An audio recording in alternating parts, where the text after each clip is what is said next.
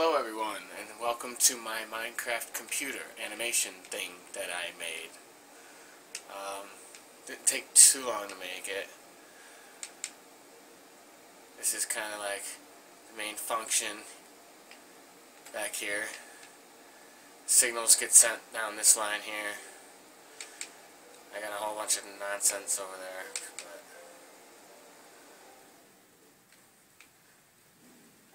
Most of these buttons will have functions, but this is just kind of a preview of the animator that I made.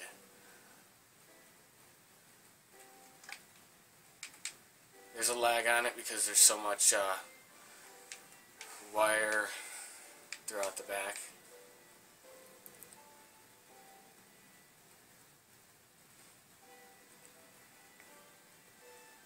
So far it's a roving tank. I'm going to have some more stuff up here eventually, you know, like a setting. And uh, everything can be toggled. I got a deactivation switch. But uh, most of the magic is happening inside here.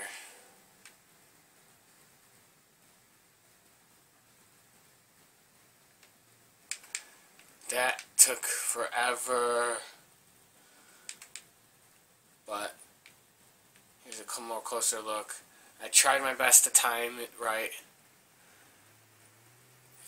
It's the best I can do. And then, well, any of the animations will all be deactivated by the same switch.